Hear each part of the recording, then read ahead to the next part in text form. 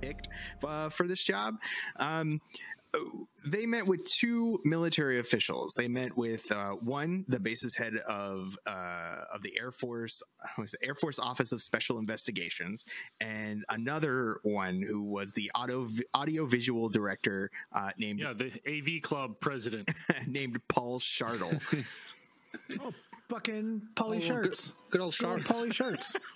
hey, the names, boy. the names in this one were killing me. When I heard Shartle, I was like, "What an unfortunate name." You know they called like, them Polly Sharts.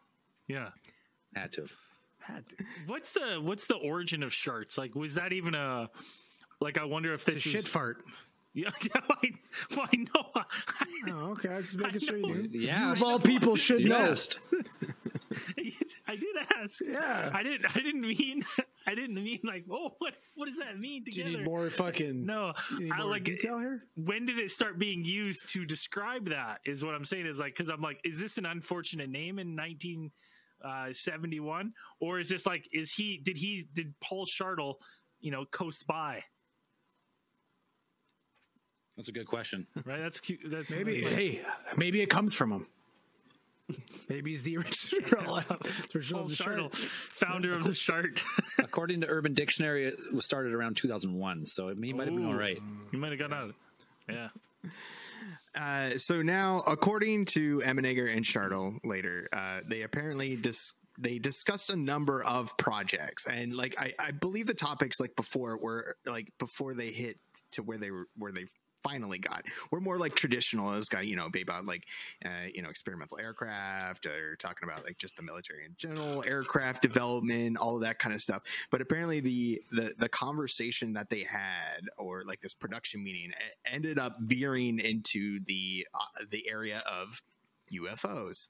Um, you know, talking about like, you know, a possibility of doing a, a documentary, a legitimate documentary about um, UFOs. So, which is wild. This is wild, uh, you know, even at this point, because you're thinking, all right, these two Hollywood guys are brought in. They're, you know, they're talking with Air Force base officials, and they're like, yeah, you know, you'd like to come. You want to do uh, like a Top Gun documentary? They're like, yeah, you know, maybe that'd be fun. We like, we we, we could do it, you know, basic training. Then well, no, boys, this like, is just this is just part two of the fucking moon landing. They already filmed it they already brought Hollywood in for it. Why wouldn't they do it again? Yeah. And they're like, you know what? If You've ever heard about these UFOs buzzing around? They're like, no. It's like, that's what we should do it on. Like, you're talking with like military base officials that are like bringing this up. You're like, it's wild to me.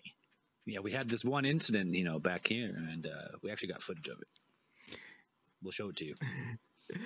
Um, what? It, yeah, that is kind of the gist of what, what happened after because Emenegger and Sandler pretty much got the green light during this meeting saying that, yeah, we will, we will participate in this. Like, uh, you'll have guaranteed cooperation with not only the Air Force, but the Navy and the Army as well.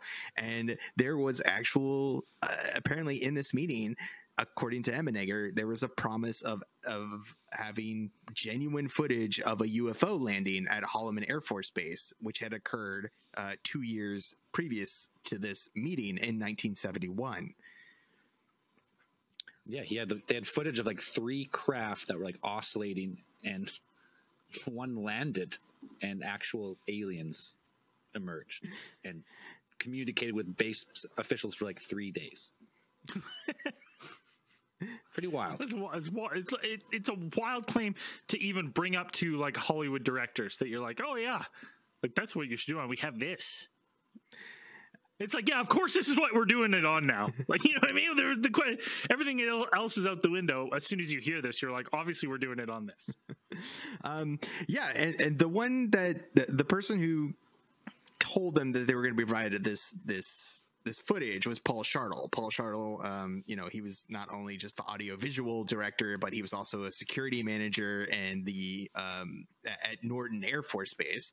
And so, uh, with his participation, he kind of said that um, he told Emenegger that I, have seen a video. I, have seen the video that uh, with the events that Zell described uh, occurring. That we had this actual video of a UFO from from a bit of a distance, but um, you're able to make uh, like you're out, you're able to make out quite a few details of this craft uh, that that landed. That was a pretty much a set of three. So.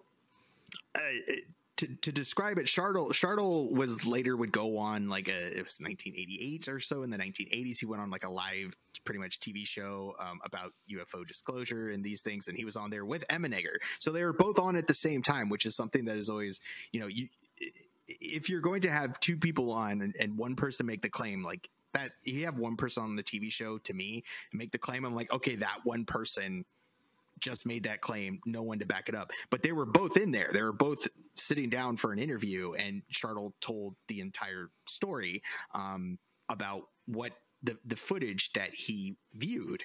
Um, so uh, in his description, he had these three craft which came down um, uh, kind of from a distance and, and were kind of in formation. Two of the craft were seemed to be bracketing a third, and this third one seemed a little bit lower. And like Zell described, it seemed to oscillate. And so to to Shartle, this this would seem to indicate that this this craft seemed to be having some sort of problem, some type of mechanical problem or something and the craft actually ended up uh, lowering down and then you know decreasing in altitude and then descending onto the ground. And it landed on these three pod uh, looking extensions on the bottom of the craft. And then the other two which were still uh, in the air invisible at the time apparently took off. Like those ones just left then Oh, I, within that video, Shartle says that you were able to see um, uh, some sort of sliding door, sliding entrance open up. Not not only a sliding an opening door, a nice slow descending ramp. Right. Yeah. down. Ah, right. That's what we like The to see. slow descending some, ramp. Some smoke emanating like that. Yeah, that's what we like to see. Yeah, the smoke comes out, and then the figure, Oh, it's ominous.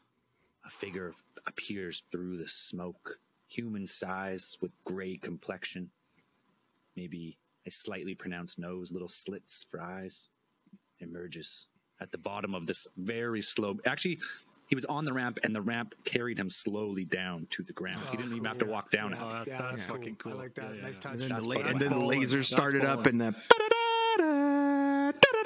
Hell yeah. The made an epic entrance. Right.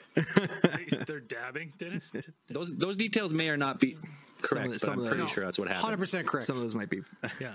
embellished. It was the, that was might be that's part of the eight minutes of footage. Uh, uh, It's all ramp. That's all it was. Well, and the other interesting thing is like, I mean, this description of these of these creatures, like Zell said, human size, gray complexion, big old noses, um, tight fitting jumpsuits, helmets. With a, Um, with jumpsuit silver? It doesn't. I, didn't nothing. I found said it just said jumpsuits, but but that's pretty stereo stereotypical of like, you know, the description. Now, one thing that was was said that was brought up, um, I can't remember which case file is not too long ago, but the thing, the big aspect of like no chin, just little little bird mouth, right? Little slit like bird mouth right?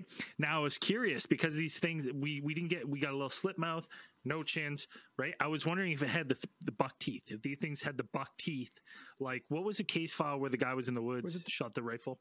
That was just a couple ago. yeah it was just a couple case files ago. Uh i think it was it wasn't the zem was it it wasn't the Zanfretta incident Zanfretta It was was- Carl, Italian Hig- Carl Higdon. Carl Higdon. That's right, Carl Higdon.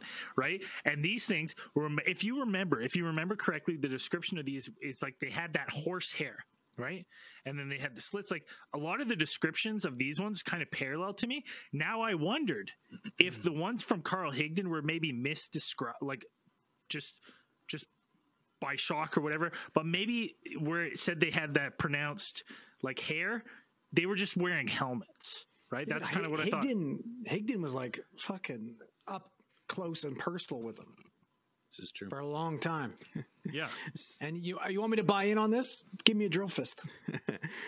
Yeah, it's true. Another- That's true. No, no drill fist on this. But I'm saying the no chin. And these Like this is a very noses. big, big noses. What we call Gonzos. you, you said you said space Jews before. We've talked about this as well, right? So I'm, I'm just saying, uh, it's not. This guys. isn't.